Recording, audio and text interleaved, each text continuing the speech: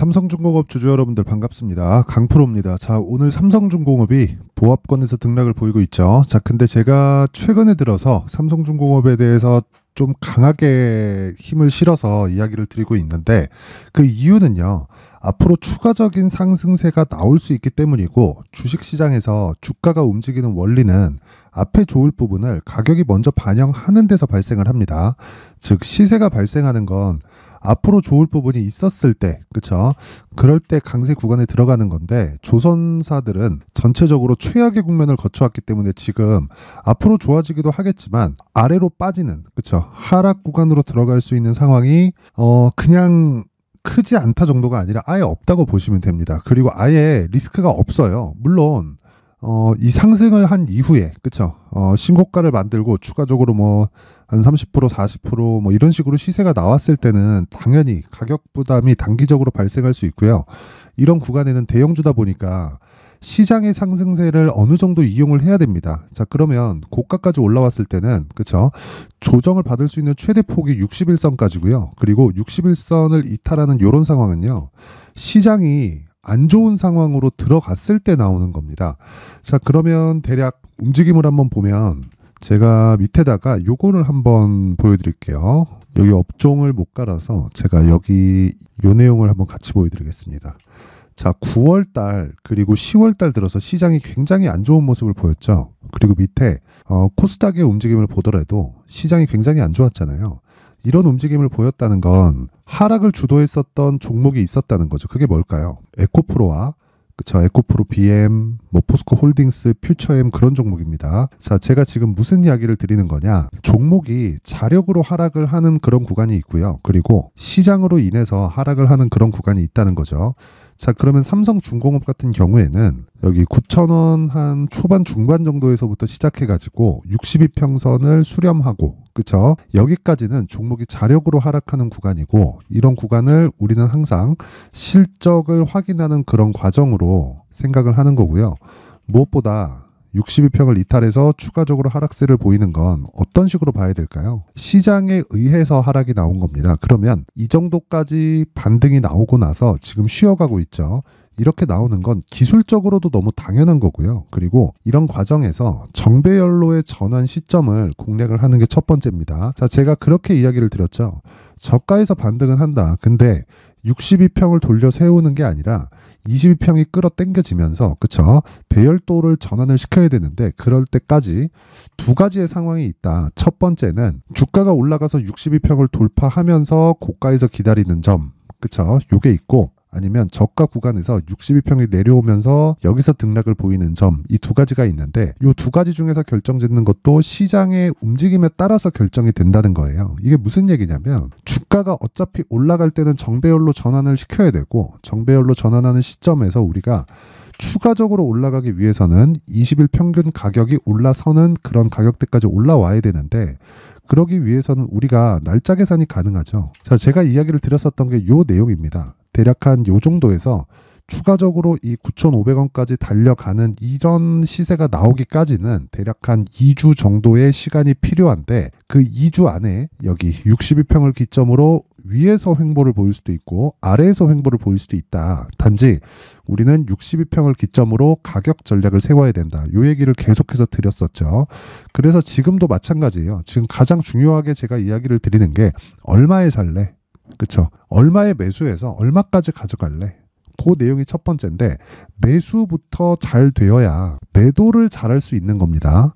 내가 매수를 고가에 쫓아가잖아요. 그러면 매도가 잘 안 될 수밖에 없어요. 물론 어느 구간이든 돌파하는 구간에 매수해서 수급만을 체크해서 단타를 한다면 그쵸 짧게 짧게 끊어서 내가 수익 실현이 가능하겠지만 이게 지속 가능하다면 그걸 그대로 하면 됩니다. 근데 내가 요런 이 단타 매매 자체가 안 된다 하면 내가 가격을 잡는 것부터 연구를 철저히 해야 됩니다. 자, 그래서 어 내가 뭐 가격을 잘 못 잡거나 이 시세 구조에 대해서 이해가 안 된다 하시는 분들은 여기 삼성중공업의 가격 그리고 단기 보유 전략 요 내용을 딱 가져가셔서 내용 똑같이 적용시켜서 매매에 활용하시면 됩니다. 요 내용까지 제가 영상으로 이야기를 드리면 너무 긴 이야기가 될 수 있기 때문에 제가 요 내용은 여기 19페이지에 걸친 단기 보유 전략으로 준비를 해왔는데 무료로 공개를 하도록 하겠습니다. 하지만 어, 만든 사람의 성의를 생각해서 그래도 최소한의 성의를 보여주시는 분들에 한해서만 제가 삼성중공업의 가격 그리고 단기 보유 전략을 공유해 드리도록 할 테니까 일단 좋아요 구독 버튼 한 번씩 눌러 주시고요. 그리고 영상 상단에 있는 전화번호로 숫자 3 숫자 3이라고 문자를 보내주시는 분들에 한해서만 삼성중공업의 가격 그리고 단기 보유 전략을 공유해 드리도록 할 테니까 상단에 있는 전화번호로 숫자 3이라고 문자 보내주시면 됩니다. 자, 그리고 무엇보다 제가 가격에 대해서 계속해서 강조를 드리는 이유는 어떤 종목이든요. 가격이 먼저 반영을 하기 때문에 그렇습니다. 자, 제가 계속해서 강조하는 신고가라는 내용이 있죠. 이 신고가는 가격이 먼저 반영하는 그 시작점이라고 보면 되고요. 그리고 그 시작점에 있을 때는 우리가 전체적인 움직임을 파악하는 게 아니라 그 종목이 이제 시장 주도주가 될 수 있다는 생각을 가지고 있어야 돼요. 근데 이건 삼성 중공업뿐만 아니라 애플도 마찬가지고요. 뭐 테슬라, 엔비디아, 삼성전자 그리고 지금 뭐 강세를 보이고 있는 반도체 종목이나 2차 전지 중에서 뭐 에코프로, 에코프로 비엠 모두 다 동일하게 작용이 됩니다. 자, 그래서 제가 계속해서 이야기를 드리는 게 삼성 중공업은 그쵸 신고가 종목이기는 합니다. 신고가 종목이기는 하지만 지금 조정을 어느 정도 받았어요. 받은 이후에 그쵸 9,500원까지 올라갔을 때는 어떻게 될까요? 매물 소화 과정이 또 필요합니다. 자 보시면 신고가를 만들고 나서 그쵸 매물 소화 과정 매물 소화 과정 이런 구간이 있단 말이에요. 우리가 여기서 잡을 수 있는 skill이 필요하다. 그게 기본적으로는 여기 앞서 말씀드렸었던 가격 그리고 단기 보유 전략에 포함이 됩니다. 포함이 되긴 하지만 제가 이야기를 드리는 건 이런 류의 종목들이 계속해서 발생을 해요. 물론 뭐 매일매일 나오거나 그러는 건 아닙니다. 그렇죠? 그런 류의 종목들을 공략하는 게 여기 강프로의 무료 소통방에서 진행을 하고 있고 어, 오늘 같은 경우에도 그래요. 뭐 시장이 강세를 보이기는 하지만 지금 이 주도적으로 강세를 보이고 있는 종목은 사실상 뭐 딱히 없습니다. 뭐, 뭐 두산 로보틱스나 뭐 이런 종목들이 오늘도 강세를 보이고 이 대부분 이 신규 상장주들이 그쵸 지금 강세를 보이고 있는 그런 상황이 있는데 이건 신규 상장주 여서가 아니라 신규 상장을 했고요. 그리고 흥행에 성공을 했는데 차익 매물을 받아먹고 다시 신고가를 만들었기 때문입니다. 그리고 에코프로 머티리얼즈도 마찬가지예요. 자, 내용 한번 보시면 에코프로 머티리얼즈 오늘 뭐 한 보합권에서 등락을 보여주고 있는데 에코프로 머티리얼즈는 여기 있죠. 42,950원. 이 상장 시점의 가격이 시가총액이 3조 대밖에 되지 않습니다. 근데 에코프로 머티리얼즈는 전구체를 만듭니다. 그럼 전구체를 만드는 과정에서 그 다음 공정으로 넘어가면 그게 양극재가 되는 거예요. 양극재를 어디서 만들죠? 에코프로 BM에서 만들죠. 그쵸? 자, 그러면 우리가 에코프로 BM을 볼 때는 뭘 봐야 됩니까? 에코프로 BM의 실적이 올라왔을 때 에코프로 머트리얼즈의 실적도 당연히 올라갈 수밖에 없다. 이 내용을 알고 있어야 된다. 그렇죠? 그렇게 이야기를 드리는 거고. 자, 그러면 보세요. 에코프로 BM에 대한 시가총액이 지금 얼마입니까? 25조 전후예요. 그렇죠? 근데 에코프로 머트리얼즈는 9조 3천억. 이거는 어쩔 수 없이 올라갈 수밖에 없죠. 아직까지도. 그렇죠? 이거 보세요. 여기 4만 원대는 그러면 얼마일까요? 한 3조 원대 정도밖에 되지 않죠. 그래서 제가 여기 머트리얼즈는 계속해서 올라갈 수밖에 없고 목표가도 딱 이야기를 드렸었던 겁니다. 그런 내용을 여기 소통방에서 계속해서 이야기를 드리고 있는데 여기 어, 머트리얼즈 말고도 리노 공업 같은 경우에도 마찬가지고요. 그리고 뭐 계속해서 뭐 다른 종목에 대한 부분을 언급을 드리고 있죠. 뭐 오늘 같은 경우에는 이 시초가 매매가 없는데 뭐 장 초반에 뭐 리노공업 같은 경우에도 이렇고 실제 리노공업을 매수한 날을 보면요. 자, 요 내용입니다. 11월 28일. 그렇죠. 화요일 날 매수 진입이 된 거고 자, 보시면 사라고 할 때 그냥 사면 된다. 내년 1월까지 반도체 강세 리노공업 올려서 잡겠다. 그렇죠? 19만 1,500원에 매수 들어갔고 시장가로 매수해라. 이렇게 매수를 외칠 수 있는 사람이 시장에 잘 없죠. 그렇죠. 그래서 이야기를 드리는 겁니다. 신고가에 대해서 이해를 해야 된다고요. 자, 그러면 요 내용을 시초가 종목, 그렇죠. 시초가 종목은 어떻게 진행이 되는지 보겠습니다. 오늘 같은 경우에 시초가가 안 들어갔는데 자, 어저께도 보면 뭐 알테오젠 같은 경우에도 장중에 충분히 수익 구간에 들어갔고 두산 로보틱스 같은 경우에도 당연히 수익 구간에 들어갔습니다. 그리고 자, 전날에 나왔었던 시초가 종목을 한번 체크까지만 해보겠습니다. 자, 여기 보시면, 자, 11월 28일, 그쵸, 화요일입니다. 화요일. 주성 엔지니어링, 그리고 LS전선 아시아, 이렇게 진행이 됐는데, 어, 내용 한번 확인해 보면, 주성 엔지니어링은 당연히 반도체 종목이니까, 그쵸? 반등하고 나서 이 횡보 구간을 지금 보내고 있는 그런 상황이고 LS전선 아시아는 자 오늘 20%대 상승 구간에 접어들었습니다. 요날 이 매수했었던 당일날에도 그쵸 장중에 자 10%대의 수익을 줬는데 어저께 한 3에서 4% 정도 조정 구간이 들어왔고요. 오늘 그쵸 20% 점프하는 그런 상황이 됐다. 어, 상승하는 이유 그리고 모멘텀은 있죠. 그쵸 그게 뭘까요? 머트리얼즈가 상장을 하는 그런 부분이 있습니다. 그쵸 LS 머트리얼즈가 자 그러면 제가 상장권 때문에 매수한 것일까 아니면 신고가 종목에 들어왔기 때문에 매수를 한 것일까 이 두 가지를 꼭 보시라는 거예요. 가격이 먼저 반영한다. 그렇죠? 상장권에 대한 내용이 있으면 가격이 먼저 반영하고 그 가격이 반영하는 과정에서 단기적으로 상승폭이 크다면 급락 구간이 있고 이런 구간을 우리는 매물 소화 과정이라고 하고요. 이 매물 소화 과정에 내가 어떻게 판단을 하느냐에 따라서 수익이 결정이 됩니다. 그리고 시세가 시작하는 맥점을 잡아야 돼요. 그렇죠? 그래서 제가 여기 소통방에서 그런 부분들을 계속해서 언급을 해드리고 있는 거고요. 무엇보다 제가 항상 이 강조를 드리지만 반도체 종목은요. 어, 지금 구조상 엔비디아로 인해서 실적이 좋아지는 부분이 그냥 확정 났다고 보시면 됩니다. 이게 끝이에요. 끝.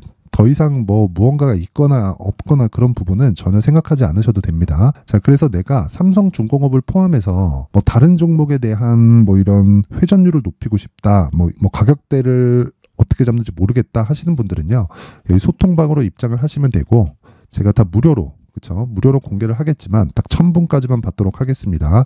조금 조금씩 차고 있는데 지금 490분이 함께하고 있고요. 입장 방법은 영상 상단에 있는 전화번호로 참여, 참여, 참여라고 문자를 보내주시는 분들에 한해서만 제가 소통방 입장 링크를 어, 공유해 드리도록 할 테니까 시청해 주시는 모든 분들이 상단의 전화번호 확인해서 참여라고 문자 보내주시면 됩니다. 자 그러면 제가 어, 한 분 한 분 확인해서 입장 링크를 어, 공유해 드리도록 하겠지만 무엇보다 중요한 건 구독과 좋아요도 한 번씩 꼭 눌러 주셔야 됩니다. 자, 그리고 제가 다시 한번 말씀드리지만 삼성중공업은 이제 시세가 시작되는 그 시작점에 있습니다. 그쵸? 그리고 올라갔을 때 여기 9,500원대까지 올라오면 대략 한 20% 정도 상승이 나와야 되는 그런 구간인데 여기까지 올라가잖아요. 그러면 매물 소화 과정이 한 번 더 있을 겁니다. 근데 그런 구간에 내가 안전하게 가지고 가려면 지금부터 준비를 해놔야 된다. 그래서 가격을 잘 잡자. 이게 오늘 핵심 내용입니다. 삼성전자 뭐, 뭐 조금 더디다, 뭐 고가에서 조정받는 거 아니냐, 뭐 시장 위험한 거 아니냐 이렇게 생각하시는 분들 있을 수도 있는데 그렇게 걱정 안 하셔도 되고요. 철저하게 가격만 잘 잡으면 전혀 걱정할 게 없는 종목입니다. 자, 오늘 영상은 여기까지 하도록 하겠고요. 모든 분들이 성공 투자하셨으면 좋겠습니다. 자, 이제 23년도 다 끝나가지만 매매를 하시면서 스트레스를 받으시는 분들이 있을 수 있습니다. 시장이 항상 그렇긴 하지만 그래도 제 구독자분들과 시청해주시는 분들을 위해서 앞으로 차기 주도주가 될 수 있는 대시세 종목을 준비를 해왔습니다. 단타나 짧은 수익만을 쫓다 보면요. 잦은 손절로 계좌가 망가지는 건 순식간이고요. 그만큼 수익하고는 거리가 멀어지겠죠. 장기간 유지하기가 어렵기 때문입니다. 결과적으로 주식시장에서 돈을 벌기 위해서는요, 어떤 계기를 만들어야 되는데 그 계기는 한 종목에 비중을 실어서요, 수익을 보는 것 말고는 없습니다. 쓸데없이 잦은 매매를 하지 말라는 이야기고요. 그리고 한 종목에 비중을 실을 수 있어야 된다는 겁니다. 그런데 이 비중을 실는 과정에서 성장 산업군에 대한 이해가 필요하다는 겁니다. 이 부분을 반드시 기억을 하셔야 돼요. 자, 이런 성장 산업에 대한 구조와 제가 앞서 말씀드렸던 신고가 그리고 선반영 구조에 대해서 이해를 했을 때 이런 매매를 할 수 있게 됩니다. 2월 7일 강프로의 대시세 종목으로 에코프로 매수가는 17만원 이에서 진행이 됐고요. 그리고 목표가는 50만원부터 자율 매도 구간으로 잡았죠. 예상 수익 범위가 200% 이상으로 되어 있는데 신고가 이후에 선반영 평균치가 200% 이상이기 때문에 그렇습니다. 자, 그런데 에코프로가 2차전지 양극재 기업이죠. 2차전지 양극재는 친환경이라는 범주 안에 속해 있다고 보시면 됩니다. 근데 제가 항상 이야기를 드리죠. 시세는 항상 연결된다고요. 앞으로 나올 대시세 종목도 이런 친환경이라는 성장 산업군에 포함되어 있어야 됩니다. 자, 이런 성장 산업군에 포함되어 있는 걸 확인한다면 이 내용처럼 세 가지의 공통점을 가지고 있습니다. 1년에 많은 종목이 발생하지 않고요. 그리고 세력들의 장기간 매집 구간이 확인돼야 되고 그리고 상승하기 시작하면 평균적으로 3개월 정도의 상승 구간을 보이기는 하지만 제가 2개월이라고 작성을 해온 건 한 가지 내용 때문입니다. 한 달은 확인하는 과정이 필요하기 때문입니다. 이게 무슨 얘기냐면 성장 산업에 대한 부분 그리고 이런 공통점 여기다가 기술적인 내용을 다 포함을 시키더라도 절대적으로 가격이 우선적으로 반영이 되는 것이기 때문입니다. 에코프로도 마찬가지예요. 장기간 하락하면서 최악의 국면을 거쳐왔고요. 이 구간에서 먼저 하락을 했다는 건 앞서 말씀드렸던 내용처럼 고가에 대한 부분이 아니라 저가, 즉 나쁜 부분을 반영한 이후에 신고가를 발생을 시켰다는 건 앞으로 좋을 부분을 반영이 되고 있다는 거죠. 그런데 본격적인 시세는 신고가 이후라고 말씀을 드렸고 지금은 매물 소화 과정을 보내고 있습니다. 앞서 말씀드린 대로 가격 먼저 분석을 끝냈죠. 그리고 나서는 정부 정책의 방향과 맞는지를 체크를 해야 되는 겁니다. 2023년 대시세 종목인 에코프로도요. 정부 정책의 방향에 맞는 종목이라고 볼 수 있겠죠. 물론 이런 종목들도요. 신고가 이후에 시세를 낸다는 건 반드시 기억하고 있어야 됩니다. 자, 이런 내용을 토대로 23년 상반기 에코프로와 같은 대시세 종목을 준비를 해 왔습니다. 자, 하반기 대시세 종목은 영상 상단의 전화번호로 대시세, 대시세라고 문자를 보내주시는 분들에 한해서만 공유해 드리도록 할 테니까 영상 상단의 전화번호 확인해서 하반기 대시세 종목으로 큰 수익 내셨으면 좋겠습니다.